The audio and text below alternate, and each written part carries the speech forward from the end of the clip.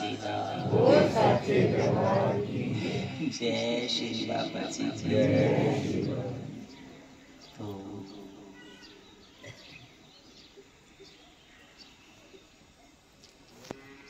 आटा पीसने वाली जो चक्की होती है, उसके दो पार्ट होते हैं। एक पार्ट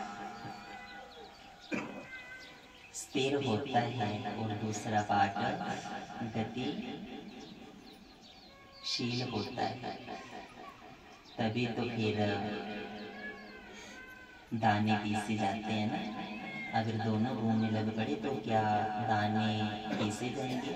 नहीं, एक स्थिर होगा चक्का दूसरा गतिशील होगा। फिर वो दानों को पीसता है फिर आटा बनता है उसी तरह जो हमारा मन है इसमें भी दो पार्ट होते हैं।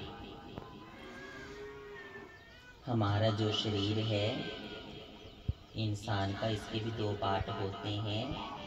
एक मन होता है, एक तन होता है।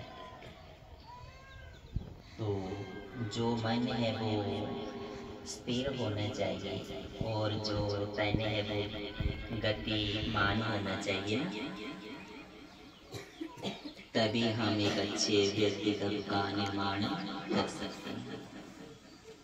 और तितलियों को पकड़ने के लिए उनके पीछे भागोगे तो तितलियाँ उड़ जाएँगी। अगर आप फूलों का बगीचा ही लगा लेंगे। तो तितलियाँ अपने आप ही आके उसके ऊपर खुद बैठ जाएँगी।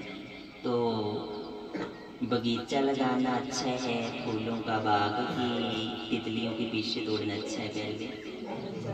हाँ जी, फिर दौड़ने से अच्छा है कि बगीचा लगा लो तितलियाँ अपने आप ही आके बैठ जाएँगी। वैसे आपको एक एक इकट्ठी करनी पड़ेगी। अगर बगीचा होगा, फूल का तो अपने आप ही आके ढेरों सारी तितलियाँ बैठ जाएँगी। और जो माखन की डली होती है, उसको भी सेक देना पड़ता है, तभी वो डलती है। कितनी हार्ड होती है ना, फिर आप उसको सेक देते हैं, फिर वो पिघल जाती है। डली होती है जो माखन की।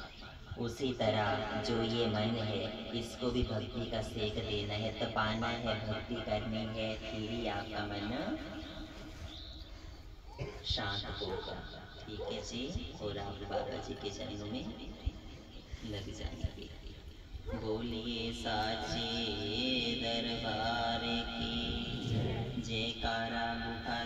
जी बोलो जय श्री बाबा जी एक बार बोलो